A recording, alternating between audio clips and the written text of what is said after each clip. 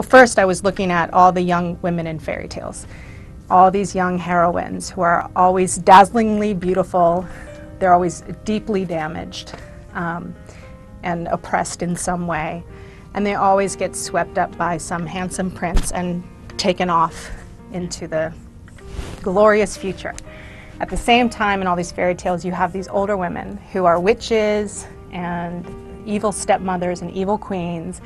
And as I was looking at all these tales, and I just thought, well, I guess it seems pretty clear to me that these are all the same women. That after the happy ending has happened, what happens to Rapunzel and Snow White and Cinderella is they get older and another beautiful young princess is going to come up and kind of take their place. And in these worlds where they're so valued for their youth and beauty, not unlike ours, um, that it's not going to go so well for them when years have passed. So the fairest of them all is about Rapunzel growing up to become Snow White's stepmother. And in it, um, Rapunzel is this young girl who's being kept by a witch in a tower in the forest.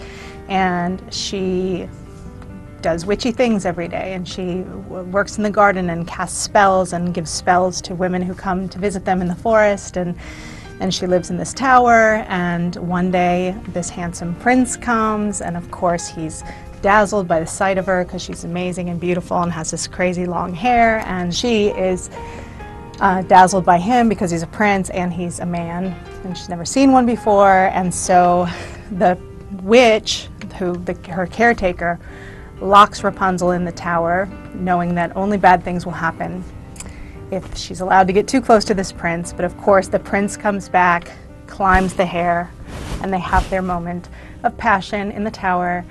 And unfortunately it turns out that this prince is already contracted to marry someone else. So years pass, Rapunzel continues to be a witch in the forest, and eventually the prince becomes a king, his wife a queen. The queen, under mysterious circumstances, dies, and Rapunzel finally gets her chance because the king has never forgotten this beautiful girl in the tower and comes back and makes her his wife. But one big thing has changed, and he now has a daughter named Snow White.